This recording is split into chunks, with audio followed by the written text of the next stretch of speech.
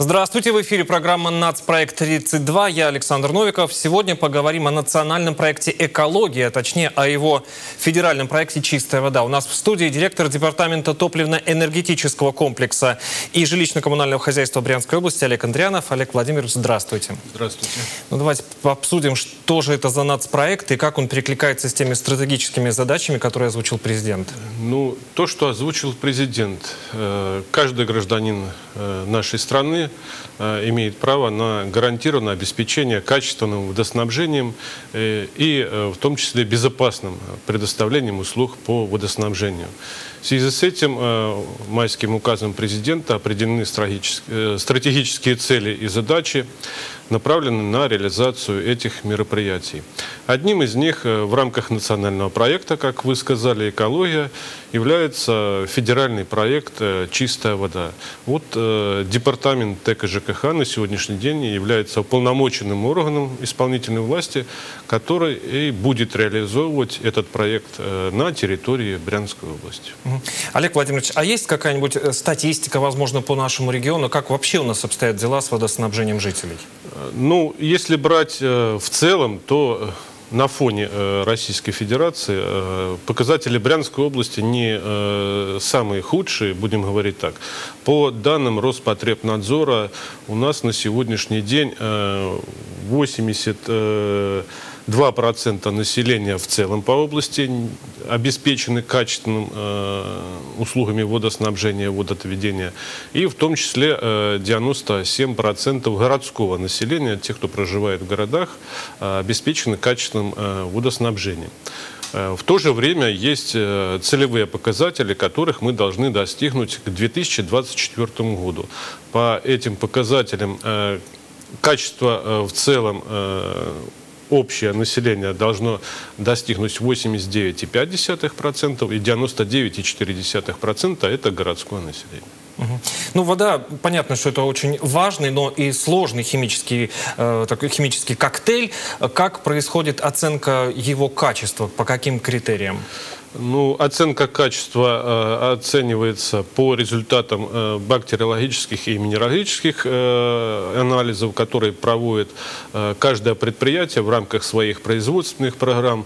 Эти все программы э, согласовываются и контролируются Роспотребнадзором, поэтому все основные показатели, э, в принципе, мы и берем из тех данных, которые представляет Роспотребнадзор, и на этих данных основываются результаты оценки. Угу. Ну, давайте попробуем по порядку прям рассказать цели, задачи, финансирование, что будет сделано в нашем регионе в рамках реализации ну, проекта? Посмотри, э, в рамках реализации национального проекта мы берем поэтапно в том плане, которым на сегодняшний день разработана э, э, дорожная карта, и она основывается на региональном проекте, который утвержден Советом по национальным проектам при губернаторе Брянской области. Значит, э, до 1 мая, согласно этого э, нормативного документа, все муниципальные образования Брянской области обязаны были э, провести инвентаризацию того же, что у них находится на территории муниципальных образований. То есть все сети, все скважины, все водозаборные и водоразборные устройства. Такие мероприятия проведены.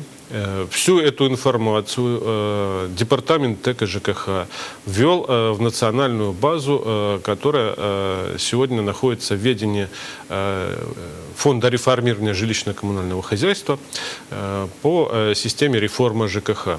Вот это и будет и та отправная точка, по которой мы все будем работать. То есть здесь эти основные показатели, от которых мы будем отталкиваться в рамках реализации нашего национального проекта. Ну, на территории Брянской области. Следующий этап э, отталкиваясь и опираясь на эти э, данные, э, мы э, начали разработку региональной программы. На сегодняшний день э, проект этой региональной программы размещен э, на сайте э, Департамента ТЭК ЖКХ для общественного обсуждения. Но у нас уже как бы есть первый этап, который мы выбрали те объекты, которые, по нашему мнению, будут нести наиболее положительный эффект для населения Брянской области. Это 10 объектов в 7 муниципальных образованиях Брянской области. Ну, наиболее как бы крупные из них, потому что не буду останавливаться на остальных, это, допустим, водоснабжение населенного пункта Ордонь, пригород Клинцы, хотя входит в Клинцовский городской округ.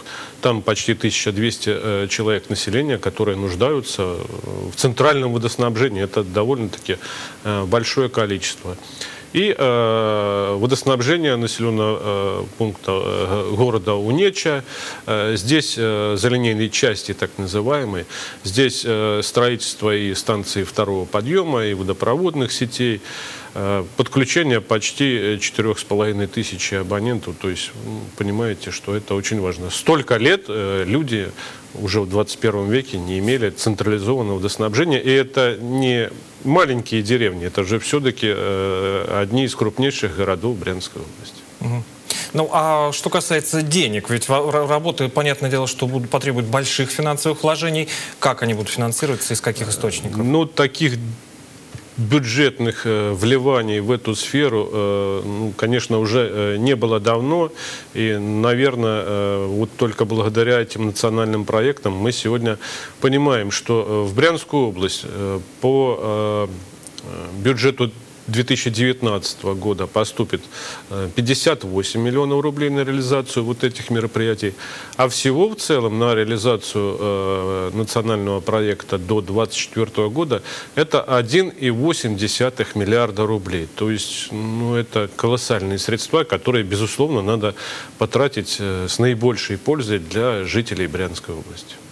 А, Олег Владимирович, такой вопрос. А планируется ли в рамках реализации этого проекта замена непосредственно старых труб? Ведь во многом вода-то становится ржавой, неприятной на вкус именно из-за того, что этим трубам уже по 70-80 лет. Ну вот я э, в своем выступлении сказал, что э, мы провели анализ и инвентаризацию всего того имущества, которое есть э, у нас на сегодняшний день в Брянской области по обеспечению водоснабжения населения. Э, к сожалению, да, есть проблема, и она серьезная. Это касается старых, ветхих труб. Э, большей частью, к сожалению, еще есть трубопроводы, которые выполнены даже из асбестоцементных цементных труб, как так называемых, да, э, которые вообще на сегодняшний день запрещены к эксплуатации. И таких, на удивление, оказалось ну, больше сотни километров на территории всей Брянской области. Поэтому вот они в первую очередь и будут подлежать замене.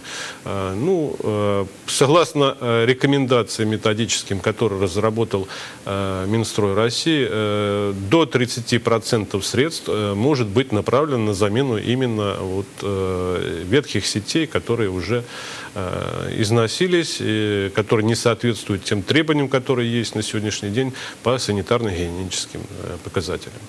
Олег Владимирович, ну и последний вопрос. Э, какие еще ведомства будут подключены к этой работе? Возможно, потребуется помощь ли научного сообщества? Ну, Первое, то, что я отметил, это, безусловно, Роспотребнадзор, потому что э, здесь в тесном взаимодействии мы будем работать. А что касается научного сообщества, то и здесь э, нам без науки никуда не обойтись, потому что ну, есть уже наглядные примеры э, той работы, которую мы проводили в рамках регионального проекта, который был утвержден губернатором Брянской области «Чистая вода». Мы на протяжении вот, последних трех лет занимались этим вопросом исключительно за счет э, регионального финансирования по инициативе Александра Васильевича. Э, за эти годы было ну, заменено почти 80 э, километров сетей, построено более 26 объектов водоснабжения, э, скважины, башни, э, и обеспечено э, водой почти 70 тысяч населения. Поэтому в этом плане мы и будем дальше двигаться, и вот основываясь на те мероприятия, которые проводили.